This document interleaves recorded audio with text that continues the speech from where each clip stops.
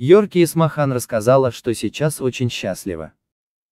Хочу сказать спасибо всем, кто следил за нашим романом и обнародовал его. Как бы то ни было, это обернулось для нас благом и принесло счастье. С наших плеч упал груз, и сейчас мы прекрасно живем. И перед Аллахом, и перед людьми вольны. Слава Всевышнему, написала Йорке. Она отметила, что они с мужем решили отдохнуть в Дубае. Сегодня в пяти утра мы приехали в аэропорт, держась за руки. Нас радушно встретили, поздравили. А раньше мы боялись, что нас кто-нибудь увидит вместе, приезжали порознь и ходили врозь.